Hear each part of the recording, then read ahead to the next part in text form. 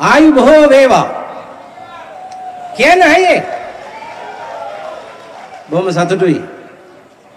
මගේ රට මගේ මාතෘ භූමියේ දේශපාලනය යහපත් දිශාවකට හැරවිය හැකියයි සිතන මේ රටේ මෙතෙක් පැවති මජර ජඩ වංචනික දූෂිත දේශපාලන සංස්කෘතිය වෙනස් කළ හැකියයි සිතන එසේ සිතමින් ජාතික ජනබලවේගයට ශක්තිය ධෛර්යය දෙන්නට පැමිණි ආදරණීය ජනතාව ඔබ හැමදෙනාටම මමගේ ගෞරවය ප්‍රශංසාව පුද කරනවා.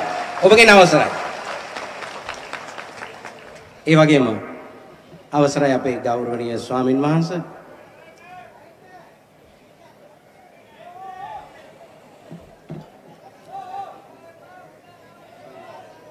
හරි හරි හරි.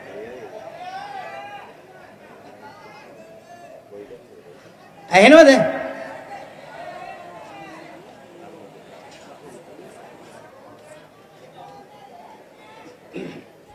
පොඩ්ඩක්වත් ඇහෙන්නේ නැද්ද?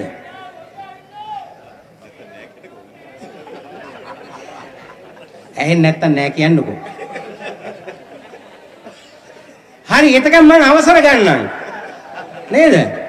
එතකොට වෙලාව ඉතුරු කරගන්න පුළුවන්. හරි මගේ ආදරණීය මහ ජනතාවගෙන් අවසරයි පොදු ජනතාවගෙන් අවසරයි. ඒ වගේම වේදිකාවේ ඉන්න අපේ ජාතික ජනබලවේගයේ ප්‍රධාන නියාමක අනුර සහෝදරයා ඇතුළු විජිත සහෝදරයා මහින්ද සහෝදරයා ප්‍රමුඛ ඒ වගේම ජය වේවා. ඇහෙනවද?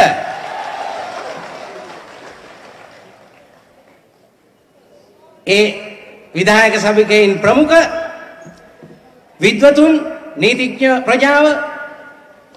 කමල් අයියා ඒ වගේම අපේ ජනක මල්ලි සුජීව මල්ලි ග්‍රේෂන් ඇතුළු අපේ ආදරණීය කලාත්මක ප්‍රජාවගෙන් අවසරයි.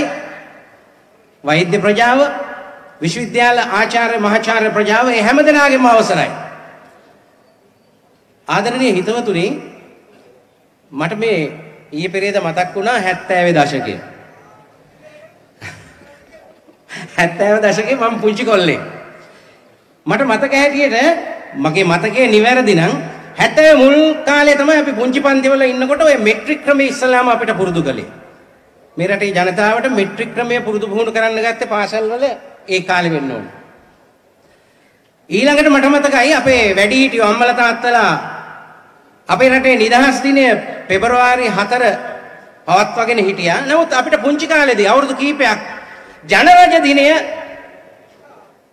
පවත්වන්නට සමරන්නට අවස්ථාව ලැබුණා. මැයි 22. ඔබට මතක ඇති. ඒ වයසේ ඉන්න අයට. ඊට පස්සේ මට මතක් වුණා 70 දශකයේ 77 77 විවෘත ආර්ථික දේශපාලන සංස්කෘතියත් එක්ක මට හිතෙනවා අපේ අධ්‍යාත්මය ආත්මය මනස රසවින්දනය සාහිත්‍ය කලා රසාස්වාදය අගාධයට ඇද දමන දේශපාලන සංස්කෘතියක් පටන් ගත්තා කියලා. හැබැයි ඒ දේවල් නෙමෙයි මම මතක් කරන්න යන්නේ. 70 දශකයේ කලාවේ සාහිත්‍යයේ පුනර්ජීවනය. ඔබට මතක ඇති අපි අදටත් කතා කරනවා 70 දශකයේ නිර්මාණය වෙච්ච ගීතය, සංගීතය, නාට්‍ය, සිනමාව, පත, පොත, කවිය මේ හැම දෙයක් ගැනම අද අපි උදම්මනනවා. මොකද 70 දශකයේ ඒ නිර්මාණ සදාතනිකයි. අදටත් අපිට ඉතිරි වෙලා තියෙනවා. බලන්න 1974 පරාක්‍රම නිර්යල්ල නිර්මාණකරුවා සෙක්කෝ නාට්‍ය තුලින් කියනවා හරි අපූර්වට අපේ තට්ටු මාරු දේශපාලන ක්‍රමේ ආනිසංසය ආදිනව මට මතක හැටියට මම නිවැරදි නම් 1976 ධර්මසිරි බණ්ඩාරනායක මහත්මයා ඒකාධිපති නාට්‍ය තුලින් වේදිකා නාට්‍ය තුලින් කියනවා රාජ්‍ය පාලකයෙකුගේ ඒකාධිපතිත්වයේ කුරිරුකම්.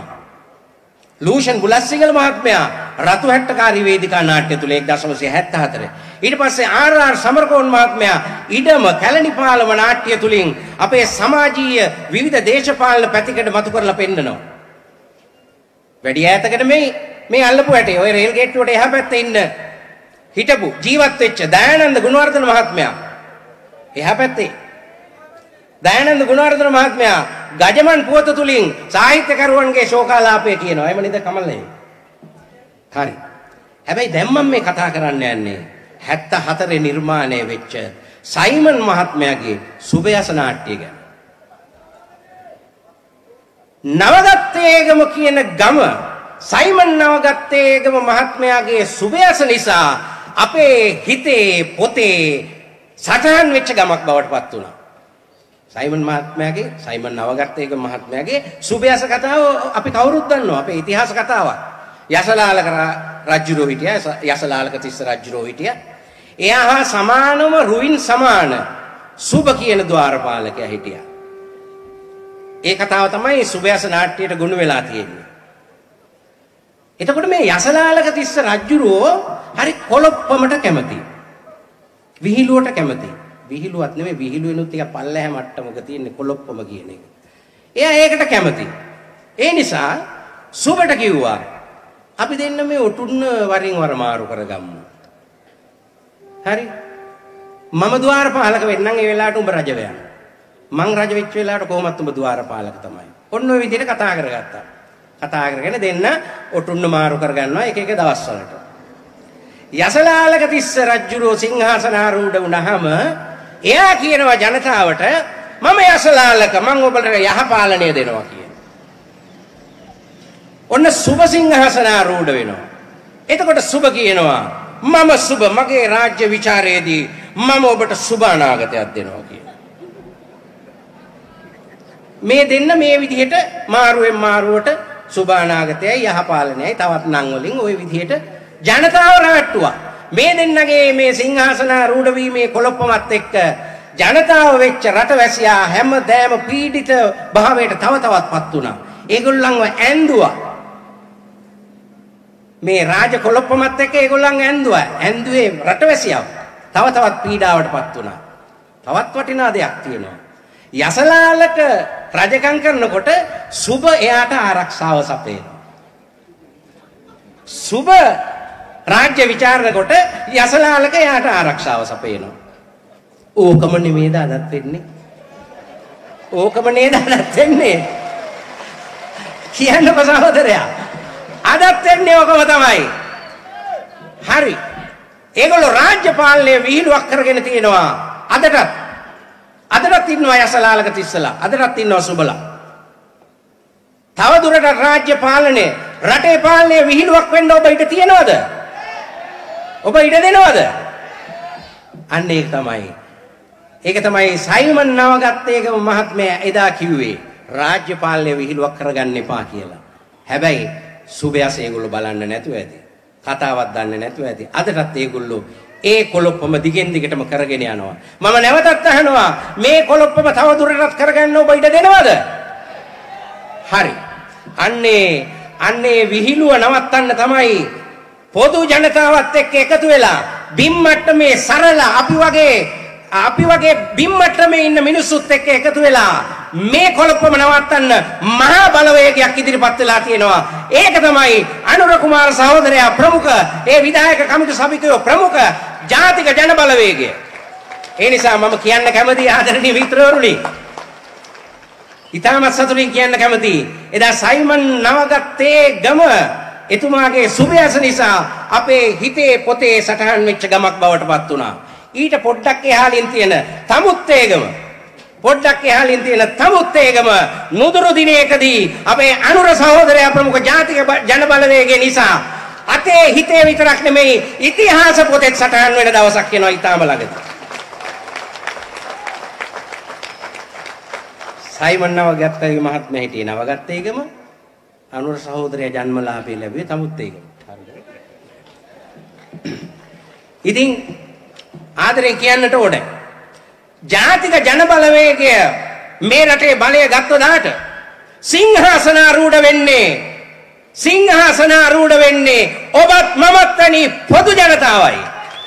ඔබයි මමයි සිංහාසනාරූඪ කරන්න තමයි මේ ජාතික ජන බලවේගයේ ප්‍රමුඛ මේ විද්වතුන් මේ කලාකරුවන් මේ සාහිත්‍යකරුවන් මේ වේදිකාවට ගොඩ වෙලා තියෙන්නේ. ජනනියම කලා ශිල්පීන් හැටියට ශිල්පිනියන් හැටියට මම විතරක් නෙමෙයි මේ වේදිකාවේ තවත් කීප දෙනෙක්ම ඉන්නවා. ග්‍රේෂන් ජයමා ඉන්නවා, ජනක රණසිංහ ඉන්නවා, තවත් ආදරණීය හිතවතුන් ඉන්නවා. රටේ පැව කමල් කමල් පෙරේරා අපේ ප්‍රවීණ සාහිත්‍යදරයා ඉන්නවා. මේ හැමෝම එකතු වෙලා තියෙන්නේ කිසිදු ලාභ ප්‍රයෝජනයකින් තොරව මේ රට මේ රට මේ විහිළුවෙන් මුදවාගෙන අපේ අපේ ආදරණීය ජනතාවට සිංහාසන ආරූඪ කරවීමේ අරමුණින් ඒ දවස ඉතා ඉක්මනින් නුදුරේදී ඇති වේවායි කියලා ප්‍රාර්ථනා කරනවා. හොඳයි. ඔබ හැමදෙනාටම ජය වේවා. මාලිමාවට ජය වේවා. ජාතික ජනබලවේගයට ජය වේවා. මගේ මාතෘ භූමියට ජය වේවා. හරි. දැන් සින්දුව. ඒ සින්දුවත් මම තෝරගත්තේ අර සෙක්කෝ නාට්‍යයම තමයි 1974 පරාක්‍රම නිර්යල්යන් නිර්මාණය කරන සෙක්කෝ නාට්‍යයේ. මේකට දායක වෙච්ච නිර්මාණකරුවෝ ප්‍රගතිශීලී මිනිස්සු.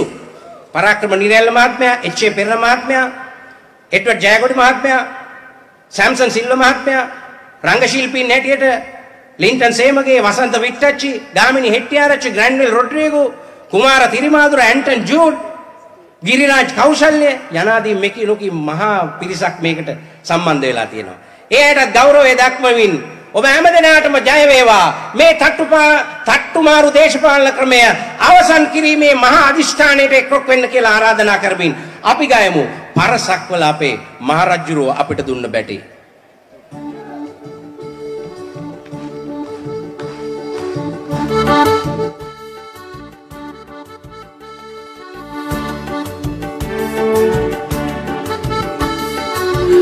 පරසක්වල අපේ මහරජ්ජුරුවෝ තැගි කළයි කිරිපුස්සා. සරුබිම් හොයලා කම්මැලිවීලා පැන්නුවයි කිරිපුස්සා. නිදැල්ල වැඩිලා දැන් හොඳ කඩිසර කම්මැලි නැති කිරිපුස්සා.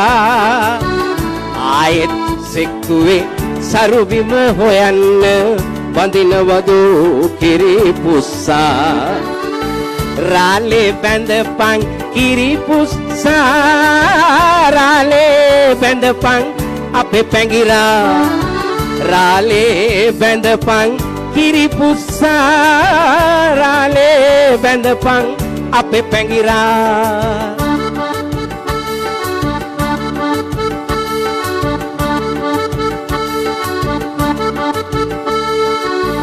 දෙමුහුන් කුලයේ උපන්න කදිම වෘෂභයකි අපේ පැංගිරා. නිතැල්ලෙ වැඩිලා දැන් හොඳ කඩිසර පැන්නුවයි අපේ පැංගිරා. සරුබිම් හොයලා මුරණ්ඩු වීලා කම්මැලි වුණු අපේ පැංගිරා. ආයෙත් සෙක්කුවේ සරුබිම හොයන්න බඳිනවදෝ අපේ පැංගිරා? රාලේ බැඳපන් අපේ පැංගිරා.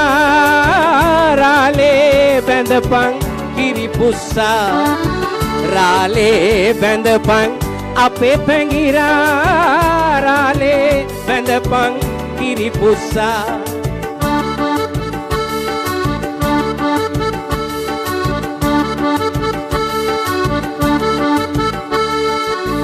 මෙච්චර කල්ලුඹ සෙක්කු මගක සරූබිම් සෙව්වා නොවැරාලේ. කරෙන් නැදලා ගොන් මාරු කරලා උඹ හති වැටුණා නොවැරාලේ. මහතැන දොඩවන බේගල්ල හලා තවරැඳෙනුද මෙහිරාලේ පැංගිරා පන්නලා පුස්සව බැඳලා ගාටනවද මගරාලේ? රාලේ බැඳපන් කිරිපුස්සා. රාලේ බැඳපන් අපේ පැංගිරා රාලේ බැඳපන් කිරිපුස්සා. රාලේ බැඳපන් අපේ පැංගිරා කිරිපුස්සා අපේ පැංගිරා කිරිපුස්සා අපේ පැංගිරා තවත් පුස්සාටවත් ආයෙ ඡන්ද දෙන්න එපා.